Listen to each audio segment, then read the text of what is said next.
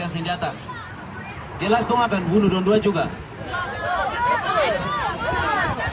Terus Bapak izin, masa dia mau pergi tembak sapi, dia bawa STR, dia bawa peluru cuma tiga. Itu tidak masuk akal, Bapak.